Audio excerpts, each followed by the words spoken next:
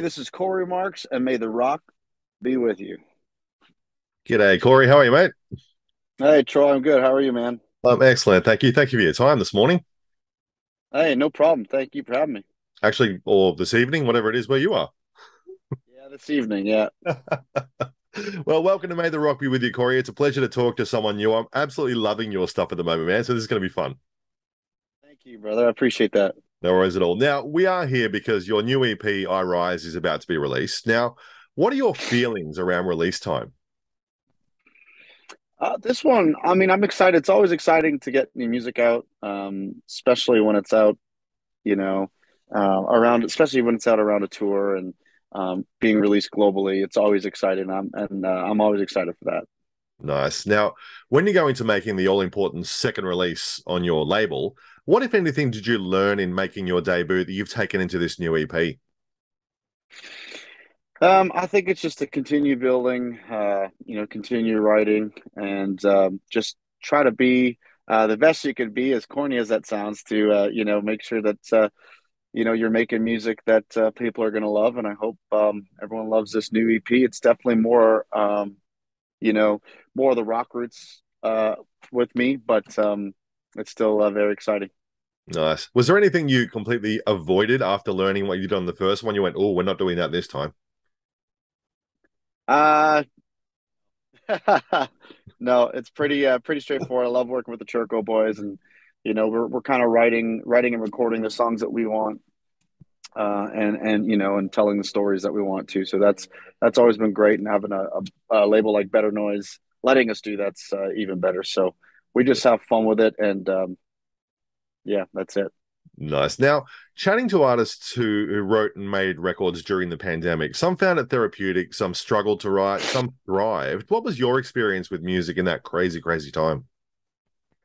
Uh, it's definitely a lot more time and room for writing. Um, obviously, um, you know, more downs and ups, uh, given, you know, the whole situation, especially when it, the whole world was literally locked inside their house for, you know, whatever it was, six or eight weeks. Um, you know, I think it definitely gave me uh, gave me an opportunity to grow as a writer and uh, definitely taste, test my patience. Uh, although I thought it would it was tested well enough, um, but it's just crazy times, man. But I'm glad we're through it. I'm excited to get back out on the road. I'm excited to get this new music out. Yeah, certainly. Now you've always had a very varied string of guests who have played in your releases: Travis Tritt, Mick Mars from Motley Crue, Tyler from Theory. Have you got any special guests on this new EP that you can let us know about? Actually, uh, on this EP, there there is uh, no special guests uh, mm. on it. Um, it's just me, my music, and a, a, you know a bit of the heavier side of Cory Marks. Um, but there is a pretty interesting cover uh, that I'm excited uh, to release. It's a, it's a classic, an old classic rock song. Um, I think that everyone, whether they're country or they're rock, or if you've just been around this on this planet for the last uh, 40 years, you've probably heard it. And it's a cover of Jet Airliner by Steve Miller Band, and uh, that that's that was a really fun song to record, and I'm I'm really thankful Kevin had that idea to put that forward. And you know, it's a song about jets and and and being a musician and traveling. So being a private pilot myself, it's kind of a you know um, two two birds with one stone. So I'm excited to get that one out. Yeah, when I listened to the EP, I saw that come up. I went, "Oh, is it?" And it came on. I'm like, "It is." Well done. I thought it was a great choice. Ah, oh, thank you very much. Yeah, nice. Now, throwing those names around like Travis and Mick Mars and those, it sort of leads into describing your sound perfectly. How long did it take you to get that blend of country and rock just right to what we hear today? Well, I think the the uh, the main ingredient to that is is, is Kevin Kevin and Kane Churko, and um, you know, obviously with their incredible rock background, uh, but um, especially Kevin being, you know, uh, rooted in the country uh, world too um, you know, they really brought the rock out of me. Uh, mm-hmm. and especially even in the writing, this EP is, you know, some of these songs are the first real official, you know, rock songs that I've that I've written. So it's kind of a bit of a different angle, different take, but it's it's still fun. And again, uh, just thrilled to be working with them. And um, I think I think you know they're the reason for this this new sound. I've always wanted, uh, you know, I've always had an edgier side, uh, but they definitely just bring it to a whole other level. Nice, it really works. Now, EPs are always somewhat of a teaser, if you like. Is there any news? Are you working on an album or something you want to throw our way? Um, I mean, like this, you know, typically some EPs are only, you know, three or four songs. This one is is six, and I'm thankful that uh, you know it's roughly half a record. Um, there will be no new uh, new music uh, coming out uh, early in 2023. We're just working on some finalizing some things, but uh, it's going to be very exciting. There'll be more music out in the new year, but um, this these these six songs, I'm hoping everyone's going to love. Yeah, definitely. And obviously, that's what we're talking about. But I Rise is such a, a great name for it, if you like, and almost like a great term. What's the meaning behind I Rise? Is that something specific for you? It's you know it's kind of um, song itself, anyways, for me is a little more a little uplifting. Um, but I think it's definitely uh, you know, it, it, helps me, but I, am hoping it helps anybody else out there who needs it. Um, again, just during this pandemic, um, you know, and and at, at, another time before the pandemic, I was just about to head out on this this tour with Breaking Benjamin. So um, after a long wait, I was finally going to be able to get out there and have had a global hit with Outlaws and Outsiders, and everything came to a halt. So once we were writing more more songs for this next project, um, that's one that stuck with me, and I think it's uh, it's pretty you know it's kind of uh, it's not too too heavy but it's not too soft either. It's just kind of a pretty good statement there right on the title. I rise. And it's kind of uh, a bit of a you know pick yourself back up uh, you know when you're when you're down. And um, and if you need if you need some music to help you with that well check out this ep yeah i think we all do at the moment. And thank you for putting something out like that because we all sort of need that uplift at the moment. Absolutely. And i think you know that's exactly uh, that song personally for me is um, you know, it's kind of kind of speaks to me that way. Uh, you know, as you know, the music industry isn't always the easiest, and uh, it's definitely a roller coaster. Just like in life and anything else, there's ups and there's downs, but sometimes those uh, those downs are, are pretty steep. So you got to rise up. Yeah, certainly. Now, I wanted to ask about the Retaliators because, man, that was a, a lot of fun. Now, what was it like? firstly, doing the song for the film, and secondly, getting a call up to be in it. It was it was really exciting. I remember that day shooting in Vegas. This was February of 2021, I believe, and um, you know, playing the role of as Jimmy the bartender, um, you know, serving the Five Finger Death Punch guys.